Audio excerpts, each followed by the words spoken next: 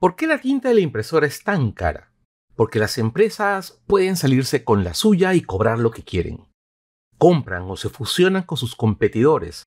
Fuerzan leyes para hacer ilegal que modifiques tu impresora o que terceros hagan cartuchos de tinta para ella. Introducen actualizaciones de software que bloquean el uso de tinta genérica dentro de las actualizaciones destinadas a proteger tu seguridad.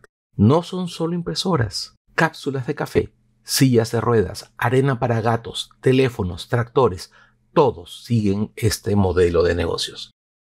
Al envolver un producto en cerraduras tecnológicas, las empresas se aprovechan de una ley que criminaliza hacer cualquier cosa que no les guste. Entonces, ¿qué puedes hacer?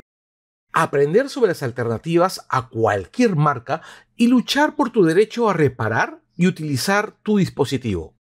IFF te apoya. Visita eff.org slash bytes para saber más y apoyar lo que hacemos.